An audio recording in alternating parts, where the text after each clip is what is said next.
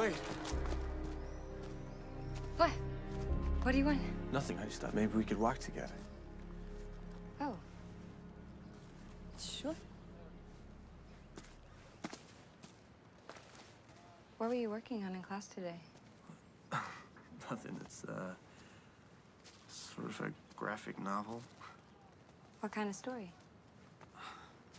I guess you could call it a romance. Does it have a happy ending? I don't know. You don't know how it ends? No, not yet. I'm sort of stuck, to be honest. Well, let's hear it.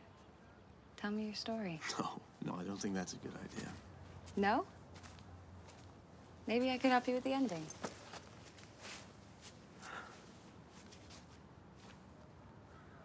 Okay. It's about this boy and this girl. And they love each other more than anything. But they can never be together. Why? Because there's this curse. Every 17 years they meet. And they fall in love. And then just when they're happiest, the girl dies. So it's a tragedy?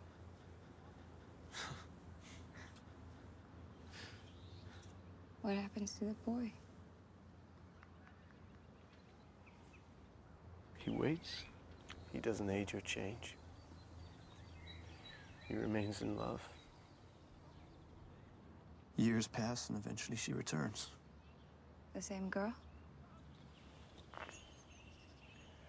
She's changed. She has a new name, new family. She has no memory of him, but he knows it's her. It's her soul, reincarnated. And they fall in love.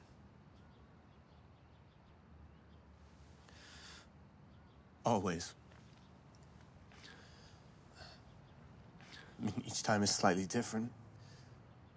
There are infinite versions, but the end is always the same.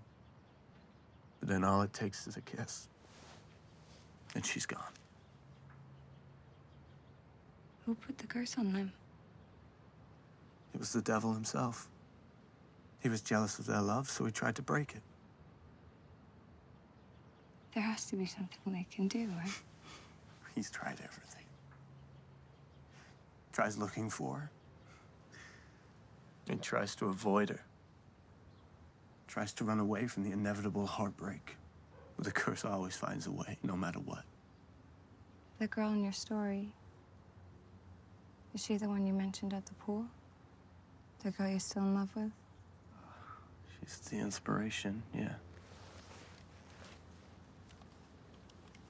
This girl? All right, you got me. It's, um, I was using you for a current incarnation. This is gonna be Paris. in, uh, 1723. It's, it's stupid. Why me? Because you're beautiful.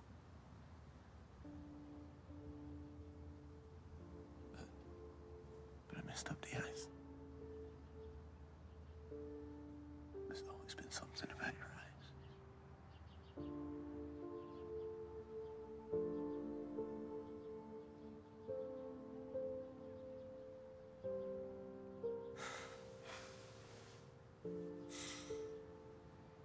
What's wrong?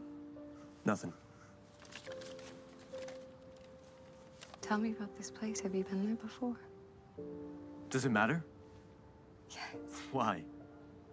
I've never traveled before. I've never even left the country. But I know that there's a cafe just off to the right. And I know it smells like jasmine after it rains. And I know that the old man who runs the cafe is kind to his dog and he's cruel to his wife. And I know these things because I've been there. And I've been there with you. Oh, Luce, come on. Don't tell me that I'm crazy. Luce, it's a drawing, all right? It's a story, that's all. You're lying.